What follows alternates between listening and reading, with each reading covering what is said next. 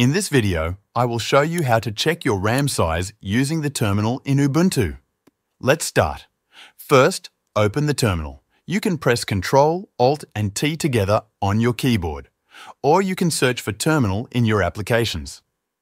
Now, type this command, free-h, then press enter. This command shows you your RAM details. You will see total memory, used memory, and free memory.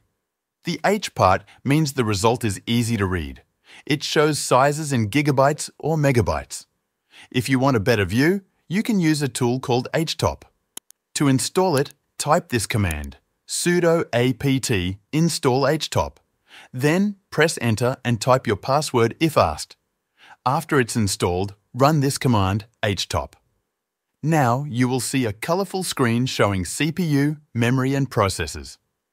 Your RAM usage is shown at the top of the screen. To exit htop, just press the Q key. That's it.